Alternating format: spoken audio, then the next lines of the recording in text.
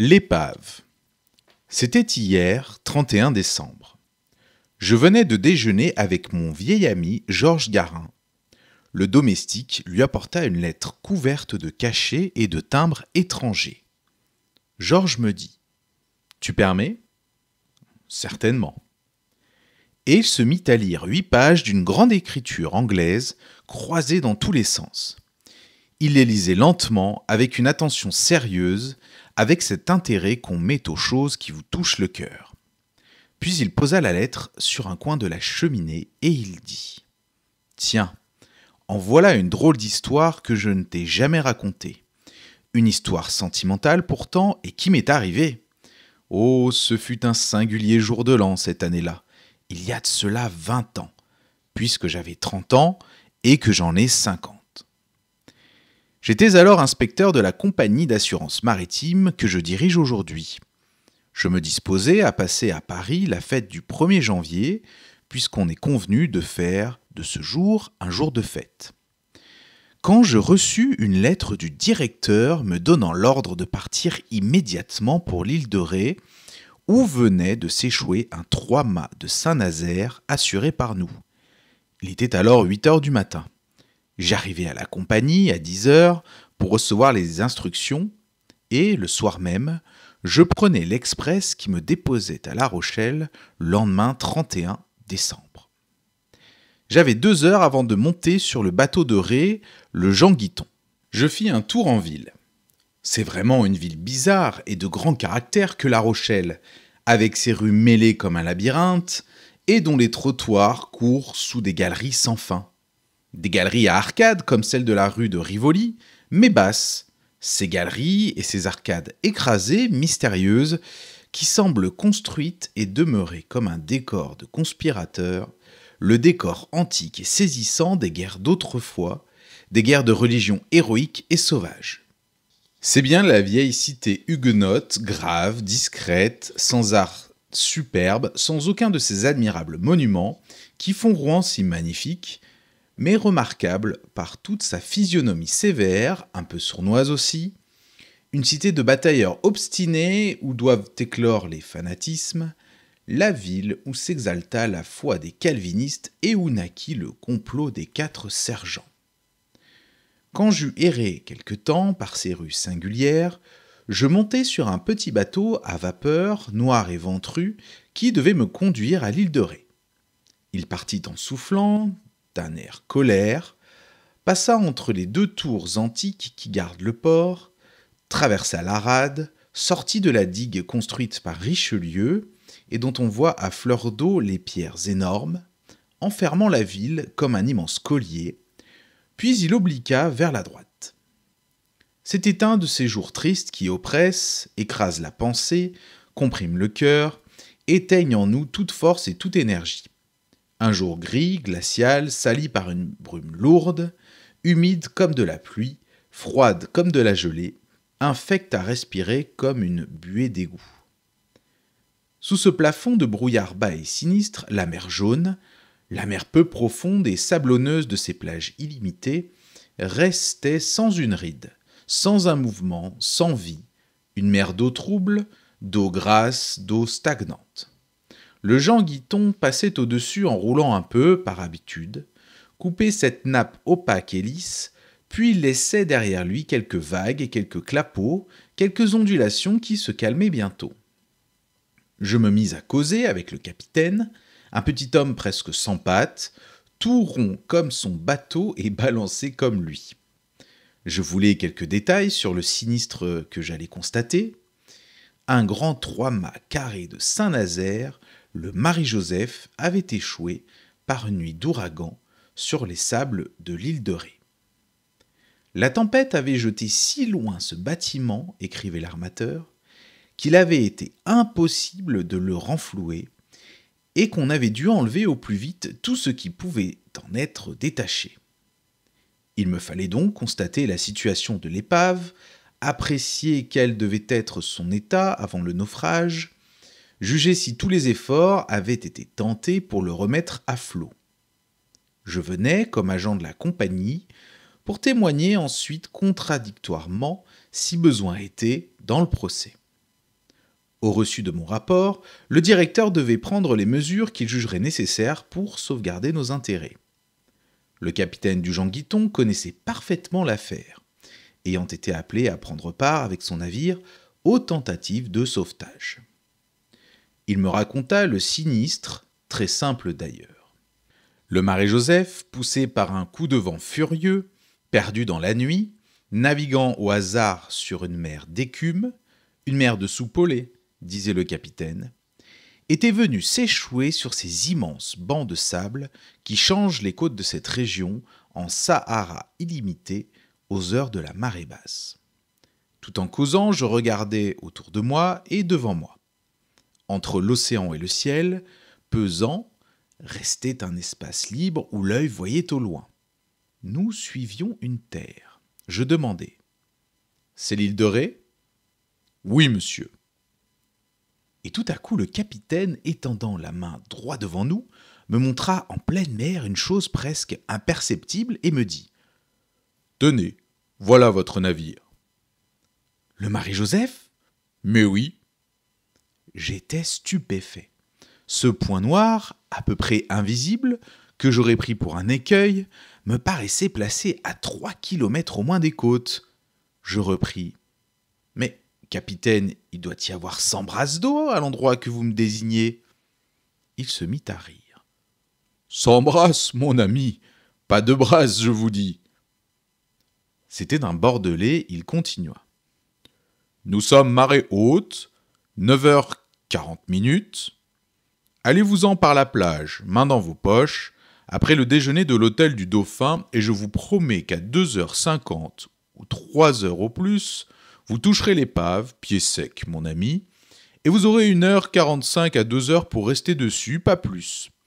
Par exemple, vous seriez pris. Plus la mer elle va loin, et plus elle revient vite. C'est plat comme une punaise, cette côte. Remettez-vous en route à 4h50, croyez-moi, et vous remontez à 7h30 sur le Jean Guiton qui vous dépose ce soir même sur le quai de La Rochelle. Je remerciai le capitaine et j'allai m'asseoir à l'avant du vapeur pour regarder la petite ville de Saint-Martin dont nous approchions rapidement. Elle ressemblait à tous les ports en miniature qui servent de capitale à toutes les maigres îles semées le long des continents. C'était un gros village de pêcheurs, un pied dans l'eau, un pied sur terre, vivant de poissons et de volailles, de légumes et de coquilles, de radis et de moules. L'île est fort basse, peu cultivée et semble cependant très peuplée, mais je ne pénétrai pas dans l'intérieur. Après avoir déjeuné, je franchis un petit promontoire, puis, comme la mer baissait rapidement, je m'en allais à travers les sables vers une sorte de roc noir que j'apercevais au-dessus de l'eau, là-bas, là-bas. J'allais vite sur cette plaine jaune, élastique comme de la chair, et qui semblait suer sous mon pied. La mer tout à l'heure était là maintenant. Je l'apercevais au loin, se sauvant à perte de vue, et je ne distinguais plus la ligne qui séparait le sable de l'océan. Je croyais assister à une féerie gigantesque et surnaturelle. L'Atlantique était devant moi tout à l'heure, puis il avait disparu dans la grève, comme font les décors dans les trappes. Et je marchais à présent au milieu d'un désert. Seul, la sensation, le souffle de l'eau salée demeurait en moi. Je sentais l'odeur du varech, l'odeur de la vague, la rude et bonne odeur des côtes. Je marchais vite, je n'avais plus froid, je regardais l'épave échouée qui grandissait à mesure que j'avançais et ressemblait à présent à une énorme baleine naufragée. Elle semblait sortir du sol et prenait sur cette immense étendue plate et jaune des proportions surprenantes. Je l'atteignis enfin après une heure de marche. Elle gisait sur le flanc, crevée, brisée, montrant comme les côtes d'une bête, ses os rompus, ses os de bois goudronnés percés de clous énormes. Le sable déjà l'avait envahie, entré par toutes les fentes, et la tenait, la possédait, ne la lâcherait plus. Elle paraissait avoir pris racine en lui. L'avant était entré profondément dans cette plage douce et perfide, tandis que l'arrière, relevé, semblait jeter vers le ciel comme un cri d'appel désespéré. Ces deux mots blancs sur le bordage noir, Marie-Joseph. J'escaladai ce cadavre de navire par le côté le plus bas, Puis, parvenu sur le pont, je pénétrai dans l'intérieur. Le jour, entré par les trappes défoncées et par les fissures des flancs, éclairait tristement ces sortes de caves longues et sombres, pleines de boiseries démolies. Il n'y avait plus rien là-dedans, que du sable qui servait de sol à ce souterrain de planches. Je me mis à prendre des notes sur l'état du bâtiment. Je m'étais assis sur un baril vide et brisé, et j'écrivais à la lueur d'une large fente par où je pouvais apercevoir l'étendue illimitée de la grève. Un singulier frisson de froid et de solitude me courait sur la peau de moment en moment, et je cessais d'écrire parfois pour écouter le bruit vague et mystérieux de l'épave, bruit des crabes grattant les bordages de leurs griffes crochues, bruit de mille bêtes toutes petites de la mer, installées déjà sur ce mort, et aussi le bruit doux et régulier du taret qui ronge son cesse, avec son grincement de vrille, toutes les vieilles charpentes qu'il creuse et dévore et soudain, j'entendis des voix humaines tout près de moi. Je fis un bond, comme en face d'une apparition. Je crus vraiment pendant une seconde que j'allais voir se lever, au fond de la sinistre cale, deux noyés qui me raconteraient leur mort. Certes, il ne me fallut pas longtemps pour grimper sur le pont à la force des poignets, et j'aperçus debout à l'avant du navire un grand monsieur avec trois jeunes filles, ou plutôt un grand Anglais avec trois Miss. Assurément, ils eurent encore plus peur que moi en voyant surgir cet être rapide sur le trois-mâts abandonné. La plus jeune des fillettes se sauva, les deux autres saisirent leur père à plein bras.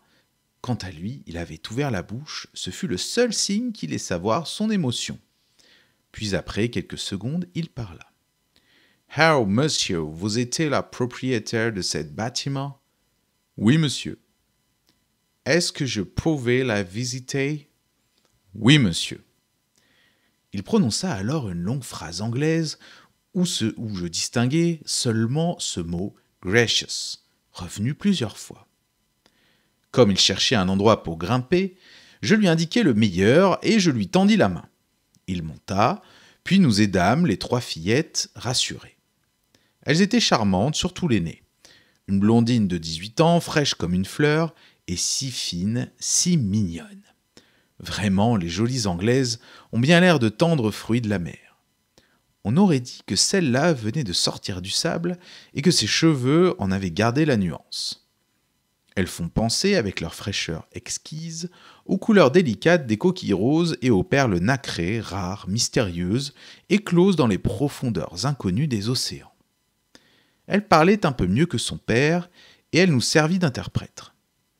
Il fallut raconter le naufrage dans ses moindres détails, que j'inventais comme si j'eusse assisté à la catastrophe. Puis, toute la famille descendit dans l'intérieur de l'épave. Dès qu'ils eurent pénétré dans cette sombre galerie, à peine éclairée, ils poussèrent des cris d'étonnement et d'admiration. Et soudain, le père et les trois filles tinrent dans leurs mains des albums, cachés sans doute dans leurs grands vêtements imperméables, et ils commencèrent en même temps quatre croquis au crayon de ce lieu triste et bizarre. Ils s'étaient assis, côte à côte, sur une poutre en saillie, et les quatre albums, sur les huit genoux, se couvraient de petites lignes noires qui devaient représenter le ventre ouvert du Marie-Joseph. Tout en travaillant, l'aîné des fillettes causait avec moi, qui continuait à inspecter le squelette du navire. J'appris qu'ils passaient l'hiver à Biarritz et qu'ils étaient venus tout exprès à l'île de Ré pour contempler ce trois-mâts enlisé. Ils n'avaient rien de la morgue anglaise, ces gens. C'étaient de simples et braves toqués de ces errants éternels dont l'Angleterre couvre le monde. Le père, long, sec, la figure rouge encadrée de favoris blancs, vrai sandwich vivant, une tranche de jambon découpée en tête humaine entre deux coussinets de poils, les filles hautes sur jambes de petits échassiers en croissance, sèches aussi, sauf l'aînée, et gentilles toutes trois, mais surtout la plus grande. Elle avait une si drôle de manière de parler, de raconter, de rire, de comprendre et de ne pas comprendre, de lever les yeux pour m'interroger, des yeux bleus comme l'eau profonde, de cesser de dessiner pour deviner, de se remettre au travail et de dire yes ou no, que je serais demeuré un temps indéfini à l'écouter et à la regarder. Tout à coup, elle murmura. j'entendais une petite mouvement sur ce bateau. Je prêtai l'oreille, et je distinguai aussitôt un léger bruit singulier continu. Qu'était-ce? Je me levai pour aller regarder par la fente, et je poussai un cri violent. La mer nous avait rejoints, elle allait nous entourer. Nous fûmes aussitôt sur le pont. Il était trop tard. L'eau nous cernait et elle courait vers la côte avec une prodigieuse vitesse.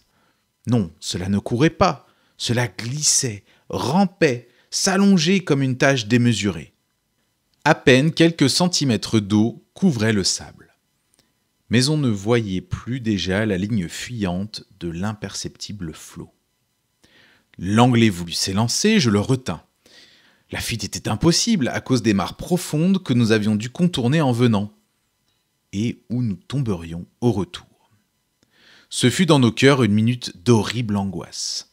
Puis la petite Anglaise se mit à sourire et murmura. C'est été nous les naufragés. Je voulus rire, mais la peur m'étreignait, une peur lâche, affreuse, basse et sournoise comme ce flot. Tous les dangers que nous courions m'apparurent en même temps.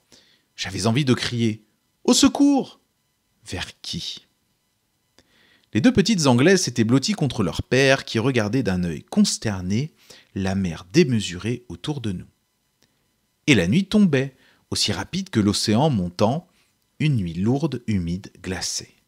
Je dis Il n'y a rien à faire qu'à demeurer sur ce bateau.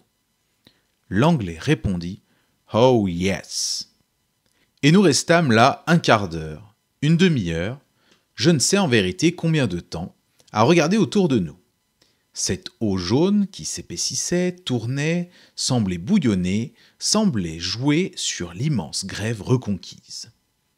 Une des fillettes eut froid, et l'idée nous vint de redescendre pour nous mettre à l'abri de la brise légère, mais glacée, qui nous effleurait et nous piquait la peau. Je me penchai sur la trappe, le navire était plein d'eau. Nous dûmes alors nous blottir contre le bordage arrière qui nous garantissait un peu. Les ténèbres à présent nous enveloppaient, et nous restions serrés les uns contre les autres, entourés d'ombre et d'eau. Je sentais trembler contre mon épaule l'épaule de la petite Anglaise, dont les dents claquaient par instants. Mais je sentais aussi la chaleur douce de son corps à travers les étoffes, et cette chaleur m'était délicieuse comme un baiser. Nous ne parlions plus, nous demeurions immobiles, muets, accroupis comme des bêtes dans un fossé aux heures d'ouragan. Et pourtant, malgré tout, malgré la nuit, malgré le danger terrible et grandissant, je commençais à me sentir heureux d'être là, heureux du froid et du péril, heureux de ces longues heures d'ombre et d'angoisse à passer sur cette planche, si près de cette jolie et mignonne fillette. Je me demandais pourquoi cette étrange sensation de bien-être et de joie qui me pénétrait. Pourquoi sait-on? Parce qu'elle était là Qui? Elle? Une petite Anglaise inconnue?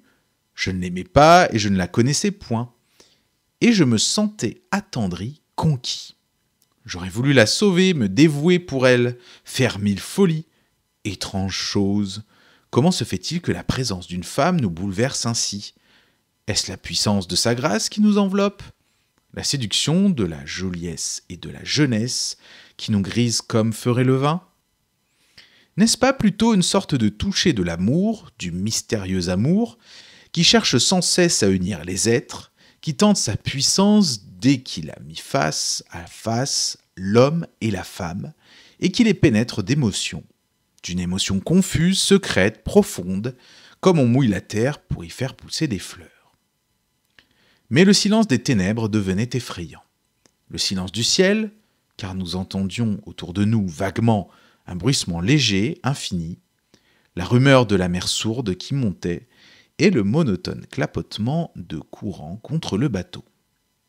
Tout à coup, j'entendis des sanglots. La plus petite des Anglaises pleurait. Alors son père voulut la consoler, et ils se mirent à parler dans leur langue que je ne comprenais pas. Je devinais qu'il la rassurait et qu'elle avait toujours peur. Je demandais à ma voisine. Vous n'avez pas trop froid, miss? Oh, si, j'avais froid beaucoup. Je voulus lui donner mon manteau, elle le refusa. Mais je l'avais ôté.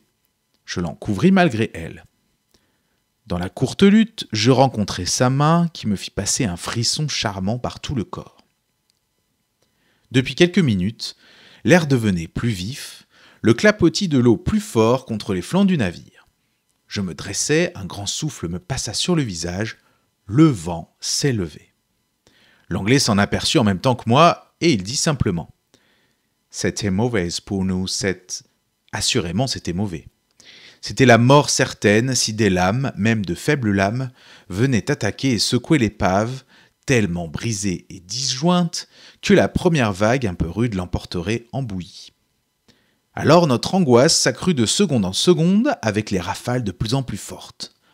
Maintenant, la mer brisait un peu, et je voyais dans les ténèbres des lignes blanches paraître et disparaître, des lignes d'écume, tandis que chaque flot heurtait la carcasse du Marie-Joseph.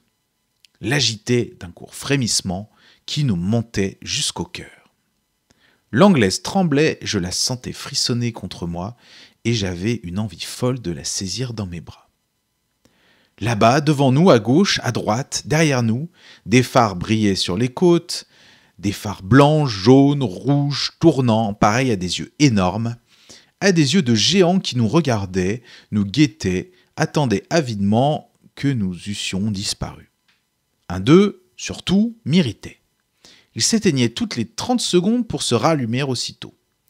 C'était bien un œil celui-là, avec sa paupière sans cesse baissée sur son regard de feu. De temps en temps, l'anglais frottait une allumette pour regarder l'heure, puis il remettait sa montre dans sa poche. Tout à coup, il me dit, par-dessus les têtes de ses filles, avec une souveraine gravité. Monsieur, je vous souhaite bonne année. Il était minuit. Je lui tendis ma main, qu'il serra, puis il prononça une phrase d'anglais, et soudain ses filles et lui se mirent à chanter le God Save the Queen, qui monta dans l'air noir, dans l'air muet, et s'évapora à travers l'espace. J'eus d'abord envie de rire, puis je fus saisi par une émotion puissante et bizarre. C'était quelque chose de sinistre et de superbe, ce chant de naufragés, de condamnés, quelque chose comme une prière, et aussi quelque chose de plus grand, de comparable à l'antique et sublime Ave Caesar morituri te salutant. Quand ils eurent fini, je demandai à ma voisine de chanter toute seule une ballade, une légende, ce qu'elle voudrait, pour nous faire oublier nos angoisses. Elle y consentit, et aussitôt sa voix claire et jeune s'envola dans la nuit. Elle chantait une chose triste sans doute, car les notes traînaient longtemps, sortaient lentement de sa bouche, et voletaient comme des oiseaux blessés au-dessus des vagues. La mer grossissait, battait maintenant notre épave. Moi je ne pensais plus qu'à cette voix et je pensais aussi aux sirènes. Si une barque avait passé près de nous, qu'auraient dit les matelots? Mon esprit tourmenté s'égarait dans le rêve. Une sirène N'était-ce point en effet une sirène, cette fille de la mer, qui m'avait retenu sur ce navire vermoulu et qui, tout à l'heure, allait s'enfoncer avec moi dans les flots? Mais nous roulâmes brusquement, tous les cinq sur le pont, car le Marie-Joseph s'était affaissé sur son flanc droit. L'anglaise était tombé sur moi, je l'avais saisi dans mes bras et follement, sans savoir, sans comprendre, croyant venue ma dernière seconde, je baisais à pleine bouche sa joue, sa tempe et ses cheveux. Le bateau ne remuait plus, nous autres aussi ne bougions point. Le père dit Kate Celle que je tenais répondit Yes et fit un mouvement pour se dégager. Certes, à cet instant, j'aurais voulu que le bateau s'ouvrît en deux pour tomber à l'eau avec elle. L'anglais reprit. Une petite basse-coule, ce n'était rien. J'avais mes trois filles conserves. Ne voyant point l'aîné, il l'avait cru perdu d'abord. Je me relevai lentement et soudain, j'aperçus une lumière sur la mer tout près de nous. Je criai, on répondit. C'était une barque qui nous cherchait. Le patron de l'hôtel avait prévu notre imprudence. Nous étions sauvés. J'en fus désolé. On nous cueillit sur notre radeau et on nous ramena à Saint-Martin. L'anglais maintenant se frottait les mains et murmurait Bonne souper, bonne souper. On soupa, en effet, je ne fus pas gai, je regrettais le Marie-Joseph. Il fallut se séparer le lendemain, après beaucoup d'étreintes et de promesses de s'écrire. Ils partirent vers Biarritz. Peu s'en fallut que je ne les suivisse. J'étais toqué, je faillis demander cette fillette en mariage. Certes, si nous avions passé huit jours ensemble, je l'épousais. Combien l'homme parfois est faible et incompréhensible. Deux ans s'écoulèrent sans que j'entendisse parler d'eux, puis je reçus une lettre de New York. Elle était mariée et me le disait. Et, depuis lors, nous nous écrivons tous les ans au 1er janvier. Elle me raconte sa vie, me parle de ses enfants, de ses sœurs, jamais de son mari. Pourquoi? Ah, pourquoi? Et moi, je ne lui parle que du Marie-Joseph. C'est peut-être la seule femme que j'ai jamais aimée. Non, que j'aurais aimé. Ah, voilà. Sait-on? Les événements vous emportent, et puis, et puis, tout passe. Elle doit être vieille à présent. Je ne la reconnaîtrai pas. Ah, celle d'autrefois, celle de l'épave. Quelle créature divine. Elle m'écrit que ses cheveux sont tout blancs. Mon Dieu, ça m'a fait une peine horrible. Ah, ses cheveux blonds. Non, la mienne n'existe plus. Que c'est triste tout ça.